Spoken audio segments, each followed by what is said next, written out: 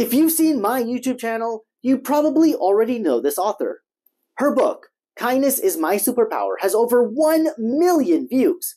It has won the Gold Award from Mom's Choice Awards this year, is an Amazon bestseller, and is included in school lessons all around the world.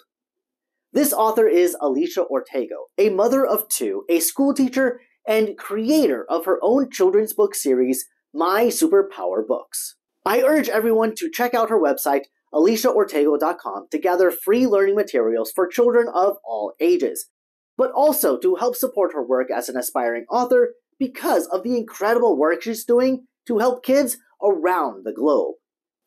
Thanks for watching! Leave a comment below of another author you think deserves praise and recognition for their amazing books, and I'll be sure to tag you in the next reel.